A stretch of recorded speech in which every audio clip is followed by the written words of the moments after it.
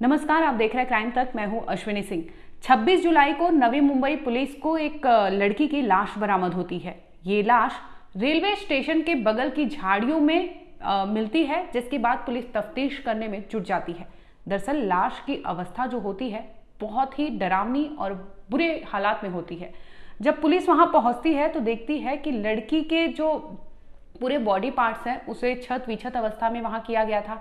इसके साथ ही पत्थर से कई बॉडी पार्ट्स को कुचला गया था।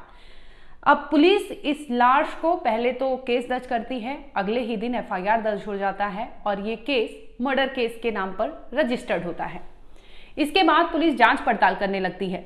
जाँच पड़ताल में पता चलता है कि ये 20 साल की लड़की यशस्वी शिंदे थी। दरअसल ये नवी मुंबई के उरन की ही रहने वाली थी, जहाँ पर वो बेलापुर काम करने के लिए जाती थी। इसी दरमियान सुबह वो निकलती है 25 जुलाई को अपने घर से अपने कंपनी जाने के लिए, लेकिन बीच रास्ते में कुछ ऐसा होता है, जिसके बाद अगले ही दिन उसकी लाश बरामद होती है। दरअसल 25 जुलाई को जब वो घर नहीं लौटती तो यशस्वी के परिजन जो होते हैं, परिवार वाले होते हैं, फ़ौरन पुलिस स्टेशन पहुँचते हैं और शिकायत दर्ज कराते हैं कि उनकी बेटी सुबह निकली थी काम के लिए, लेकिन वो वापस घर नहीं लौट पाती। आपको इस केस के बारे में कई अपडेट हमने आपको पहले भी दिखाया है, लेकिन इस केस को लेकर एक ताज़ा अपडेट ये सामने आया है कि यशस्वी का जो पोस्टमार्टम रिपोर्ट है, यानी प्री प्री पोस्टमार्टम रिपोर्ट जो आती है, उसके मुताबिक कई ऐसे खुलासे हुए हैं, जिसमें इस केस को लेकर पुलिस अब जाँच पड़ताल कर रही है।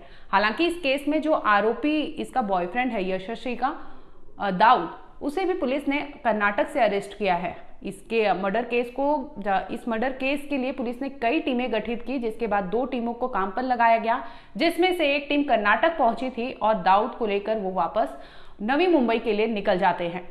दरअसल, आयो जो होते हैं इस केस के, वो पोस्टमार्टम कर रहे डॉक्टर से पूछताछ करते हैं। जाँच पड़ताल करने की कोशिश करते हैं कि क्या इस लड़की के साथ सेक्सुअल असॉल्ट हुआ है या किसी प्रकार का इस लड़की के साथ रेप जैसी घटनाओं को अंजाम दिया गया है, इस पर डॉक्टर का जो जवाब आता है, उसे हम इस वीडियो में आपको बताएँगे। दरअसल, जब पूछा गया पुलिस की ओर से कि क्या आपको लगता है ऐसा कुछ हुआ है लड़की के साथ तो डॉक्टर का जवाब आता है कि अभी प्रिलिमिनरी जो रिपोर्ट है, उसके मुताबिक रेप की पुष्टि नहीं हुई है, लेकिन पोस्टमार्टम की पूरी रिपोर्ट आनी बाकी है, आगे आएगी, जिसमें यह खुलासा हो सकता है कि आखिर उस लड़की के साथ इस जघन्य अपराध को अंजाम देने वाला दाऊद ने क्या कुछ किया था, जिसके बाद खुलासा पोस्टमार्टम रिपोर्ट के बाद ही होगा।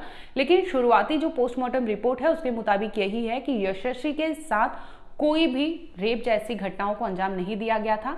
वहीं दूसरी ओर दाऊद की बात करें तो दाऊद से पुलिस जब पूछती है, जब पकड़ पकड़ लेती है, अरेस्ट करती है उसे तो उसे पूछती है कि आखिर तुमने क्या यशस्वी के कत्ल किया है? इसके बाद वो टूट जाता है। पहले तो वो कुछ नहीं बोलता, लेकिन टूटता है क्योंकि पुलिस के पास एक सीसीटीवी हाथ लगा था, जिसमें ये साफ़ दिखाई दे रहा था कि पहले सीसीटीवी में कुछ मिनट पहले ही वो लड़की जहाँ पर वारदात को अंजाम दिया गया है, उस ओर जाते हुए दिखाई देती है। इसके कुछ ही मिनट बाद जो उसका बॉयफ्रेंड होता है यानी दाऊ उस सीसीटीवी में कैप्चर हो जाता है, जिसमें साफ़ साफ़ वो दिखता है कि उस लड़की का पीछा कर रहा है। वहीं पुलिस की पुलिस की माने तो पुलिस ने ये अपने बयान में साफ़ बताया है कि इन ये दोनों की मुलाकात फिक्स हुई थी। मुलाकात करने के लिए ही ये वहाँ जा रहे थे। इसी बीच इनमें कुछ ऐसा हुआ जिसके बाद उसने लगातार स्टेप यानी धारदार हथियार से लड़की पर लगातार वार किया, जिसकी वजह से उसकी मौत हो जाती है।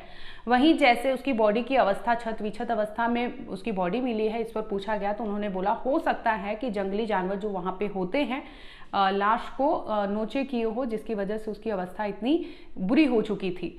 फ़िलहाल इस पूरे मामले में तफ्तीश जारी है। पुलिस ने भी अपना बयान जारी किया है। बाकायदा उन्होंने स्टेटमेंट दिया है, जिसमें उन्होंने बताया है कि इस लड़की के साथ सेक्सुअल असॉल्ट जैसी चीज़ें नहीं हुई है, लेकिन अभी पोस्टमार्टम रिपोर्ट पूरी आनी बाकी है, जिसमें पता लगेगा कि आखिर क्या कुछ हुआ था उस रात, उस लड़की के साथ।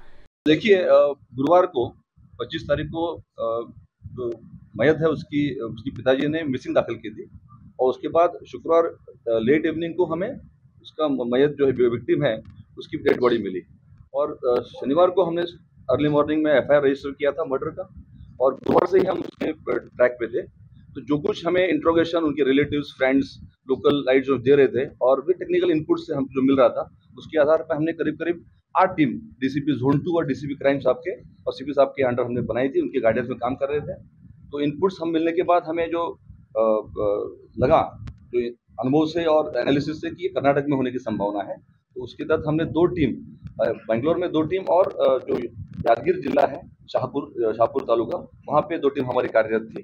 और तीन चार सस्पेक्ट है उसमें तो आपने बताया अभी मोहसिन वगैरह, पर उसके बाद सस्पेक्ट से हमने इंट्रोगेट और करने के बाद एक जो हमने शॉर्टलिस्ट किया दाऊद शेख करके, और उसको आज सुबह हमने उनकी मदद से, मोहसिन और जो लोग थे, वहाँ के लोगों के लोकल लोगों की मदद से उनको पकड़ा है। रिपोर्ट तो आज प्राप्त होना है।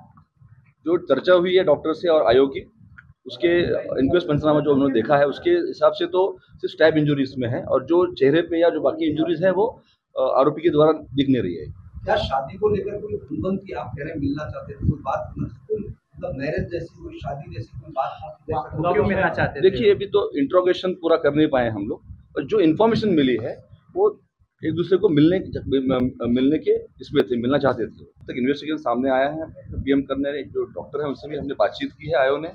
तो जो मेन कॉज ऑफ़ डेथ है वो है स्टैबिंग और जो चेहरे की बात आप कर रहे हैं में शंका है कि वो हो सकता है कि जंगली जो प्राणी होते हैं जो कुत्ते वगैरह होते हैं तो होने की संभावना है। वो पीएम रिपोर्ट आने के बाद आज वो क्लियर हो पाएगा। तो कितने आरोपी कुल हैं? आपको अभी भी लगता है कि दाऊद शेख नाम का एक ही आरोपी ने इस वारदात में देखिए सस्पेक्ट तो हमारे पास दो तीन थे मोहसिन वगैरह लग रहे थे हमें। पर जब वहाँ जाके हमने टीम ने इंट्रोगेट किया इन्वेस्टिगेट किया तो लोकल जो सस्पेक्ट थे, उन्होंने हमें बाद में जो आरोपी पकड़ा है, उसको पकड़ने में मदद की है। तो अभी तक जो लगा है कि एक ही आरोपी इसमें। सर, वहीं आपको बता दें कि कातिल जो उसका बॉयफ्रेंड है, यानी दाऊद दाऊद शेख उसके बारे में कुछ खबर सामने आई है। आपको हमने कल भी बताया था, जिसमें उसके सोशल मीडिया को खंगाला गया तो कई ऐसे रील्स मिले जिसमें दाऊद मायूस दिखता था, यानी वो ऐसे दुखी दिखता था, जैसे एक आशिक में टूटा हुआ या प्यार में टूटा हुआ आशिक जो होता है, वैसा वो रील्स शेयर किया करता था। अगर रील्स की बात करें तो वो बकायदा टूटे हुए दिल या मोहब्बत में कोई धोखा खाया हो, वैसे वो गाने बनाता था और गाने पे अपनी तस्वीर लगाता था, जिसे अपने सोशल मीडिया पर शेयर किया करता था। फ़िलहाल पुलिस के गिरफ्त में है दाऊद, लेकिन पुलिस हर एंगल से इस केस को जाँच पड़ताल कर रही है, उससे पूछताछ कर रही है कि आखिर उसने 20 साल की यशस्वी को क्यों मारा और उसका मकसद क्या था, मोटिव क्या था, क्योंकि यशस्वी तो उससे फिर से कांटेक्ट में थी, घंटों बात होती थी, लेकिन फिर भी उसने उस दिन 25 जुलाई को उसे बुलाया मिलने के लिए और मिलने के बहाने ही उसका कत्ल कर देता है, जिसके बाद वो उसकी लाश को झाड़ियों के यहाँ फेंक कर खुद फ़ौरन फरार हो जाता है। हालाँकि कड़ी मशक्कत के बाद पुलिस को सफलता मिलती है, जिसमें पुलिस दाऊद को डिटेन कर लेती है।